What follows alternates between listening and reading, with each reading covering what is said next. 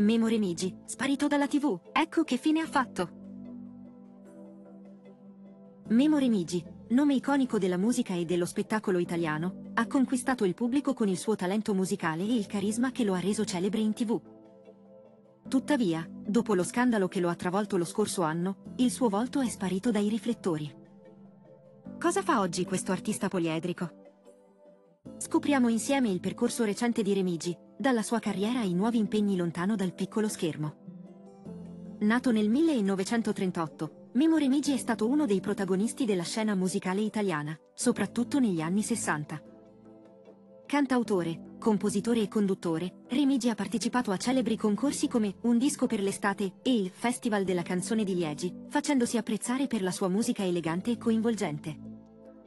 Il suo grande successo arriva nel 1965 con la composizione di Io ti darò di più, presentata al Festival di Sanremo con l'interpretazione di Ornella Vanoni e Orietta Berti.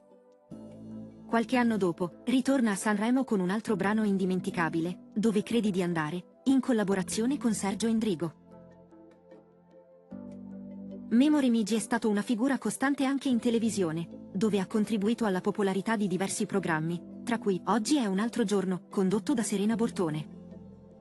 Ma la sua carriera ha subito un brusco arresto dopo un controverso episodio che lo ha messo al centro dell'attenzione mediatica. Nel 2022, Memo Remigi si è trovato al centro di un episodio che ha scosso il pubblico televisivo. Durante una puntata di Oggi è un altro giorno, il cantautore è stato protagonista di un gesto inappropriato nei confronti di Jessica Morlacchi, toccandola senza consenso. Questo comportamento ha suscitato indignazione, causando il suo immediato licenziamento dalla RAI e mettendo fine alla sua presenza costante nel programma. Lo stesso Remigi, consapevole della gravità della situazione, ha più volte chiesto scusa pubblicamente a Jessica Morlacchi e a Serena Bortone, ammettendo che il gesto, seppur pensato come uno scherzo, era inappropriato e offensivo.